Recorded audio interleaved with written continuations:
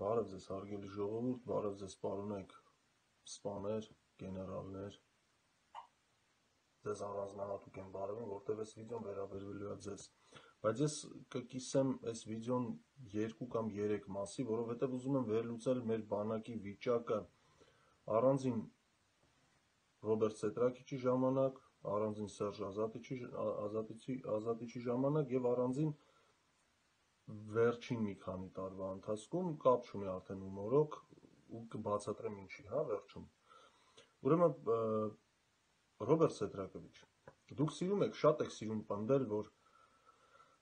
ձեր ժամանակ երկիրը աճ է ապրել տնտեսական եւ այլն եւ այլն։ Ես համաձայն չեմ նրա հետ, որ դա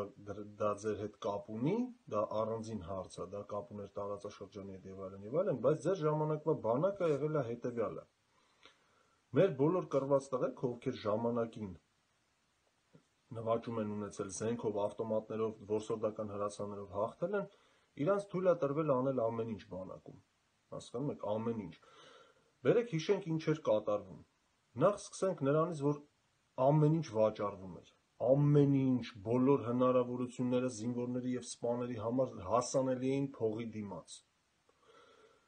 Մեր գնդերի հրամանատարներն ու կորպուսի հրամանատարները հարյուրներով պահում էին պայմանագրային զինվորներ, որոնք որ ընդհանրապես գործի չէին գալիս, փողը ստանում էին, կամ պայմանագրային զինվորներ, որոնք կատարում էին իրենց սեփական գործերը, ասենք Էշմիածնի մանվելի տան գործերը, եւ ասենց բոլոր դա բոլորին է վերաբերվում, հա։ Ձեր ժամանակ տեխնիկայում վառելիք չկար, տալիս էին այնքան, որ A կետից B կետ հասնի պարոն Քոչարյան։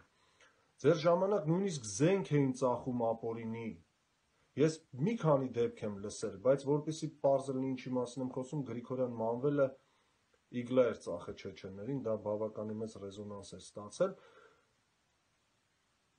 Հիմա կասեն հերոսներին ինչ է, չէ, Մանվելը հերոս է, խնդիր չկա։ Մանվելը հերոս է, բայց արեք ու տեսեք ինչ ձև են մեր հերոսները։ Հետո էլ 16 թվականին Տուշոնկեքի պատմությունները։ Ասում եք, դրանք էին մեր հերոսները։ Հիմա խոսանք կոնկրետ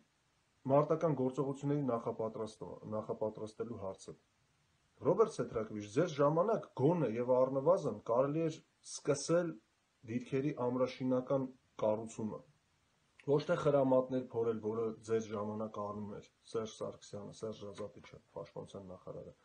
այլ լուրջ բետոնային կառույցներ, հա, դոտ եւ ձոտ, որոնք որ այսօր կլինեին մեզ շատ պիտանի։ Դա չարվեց գնումները, տենդերները բոլորը ծառայում էին մարդկանց հարստացման համար, հա։ Եթե պետք էր գնել լավ բնութագրով մարտական տեխնիկա,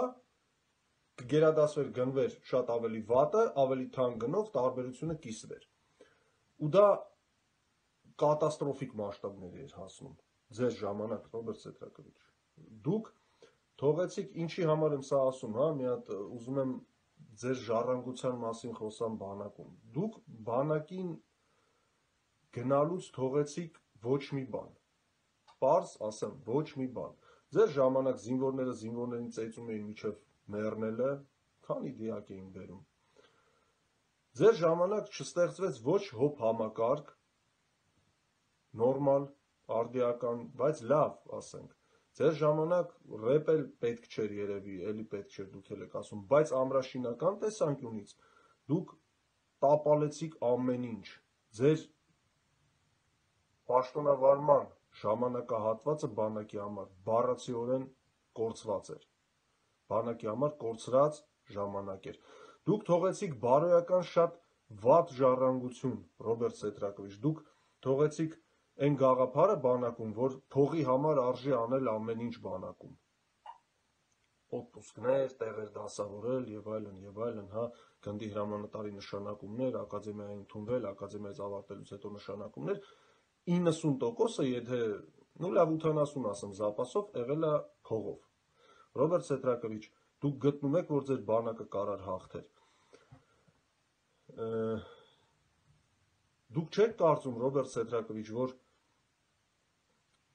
մեր քաղաքական դիրքերը թույլ լինելու պատճառը նաև բանակն էր։ Ձեր թույլ բանակը բերեց մեր թույլ քաղաքական դիրքերի, ոչ թե թույլ քաղաքական դիրքերը բերեց պատերազմի։ Սկզբից բանակը բերեց թույլ քաղաքական դիրքերի։ Ձեր ժամանակահատվածը բանակի համար կորցրած է։ Դուք Ռոբերտ Սեդրակովիչ խոսալու իրավունք չունեք։ Բոլորին ցանկանում եմ համերաշխություն, խաղաղություն, խաղաղություն եւ ողջամիտ դատողություն։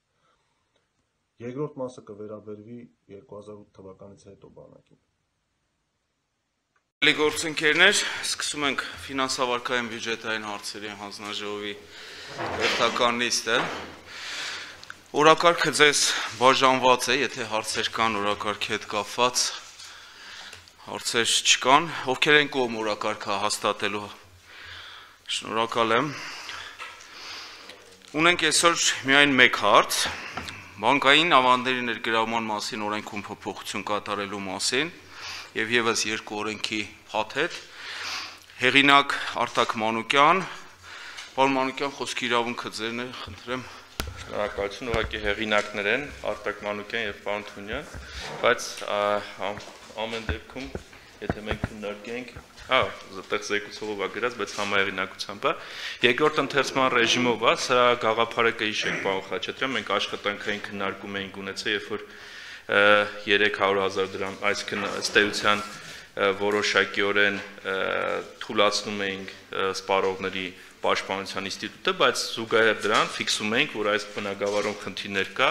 եւ այս առումով սա այն փաթեթի մի կտոր պետք է լիներ, բայց քանի որ ժամանակի առումով չենք կարողանում իրականացնել, ըստ էության սրանով այն նվազագույն շեմերն ենք սահմանում, որով որ բանկը կարծում ենք ավելի պատրաստական պետքա լինի այս բնակավարումների դուներ իրականացնել եւ ապահովել սպառողների շահերի հավասարակշիռ պաշտպանությունը։ Պետք է նշեմ, որ առաջին թերցման ռեժիմով ազգային ժողովը հավանություն արժանացրեց, Պարոն Բագրատյանն էր որոշակի դիտարկումներ անում, որ այս գումարներից ինչ որ առումով սպառողները մաս մասնակցություն ունենան իհարկե դրան անդրադարձ կատարվեց, բայց եթե առիթը լինի էլի լիագումարում կամ ստեղ կփորձենք այս մասով քննարկել, մնացած փոփոխությունները, որոնք որ առաջինից երկրորդ ընթերցում եղել են, ըստ էության տեխնիկական բնույթին, այսինքն այնտեղ հոդվածներ խմբագրական սույն օրենքի հոդվածների է, սույն օրենք ա եղել եւ նաեւ քանի որ այս օրենքը մի հատ փորձեմ parzabanım, հա, կենտրոնական բանկը ունի իր խորհրդի կողմից ընդունված որոշակի նորմատիվա իրավական դաշտ, որտեղ տուգանքը դա դիտարկում է որպես վերջին, այսպես ասած, ատյանի ներազդեցության գործոն։ Միջև դա կա նախազգուշացում, բանավոր զգուշացում եւ այլն եւ այլն։ Եվ քանի որ օրենքով կարգավորվում է այդ տուգանքների միայն հնարավորությունը նախկինում երբ որ հոդվածը վերնագրվում էր բանկի պատասխանատվություն եւ ստեղ առաջի տպավորությամբ կարող էր դիտարկվել որ օրինակ նախազգուշացումը որպես ընթացակարգ չի կիրառվում մենք ավելի հստակեցրել ենք որ սա միայն վերաբերում է տուգանքների մասով որոշակիության տրամադրմանը որտեղ բանկի պատասխանատվություն որպես միջոց կենտրոնական բանկի կողմից իրականացվող կարող է լինել նաև նախազգուշացումը, նաև այդ խմբագրական փոփոխությունն է։ Այլ դիտարկումներ, առաջարկներ չեն եղել, ինչպես հանձնաժողովի անդամները, այնպես էլ կառավարության կողմից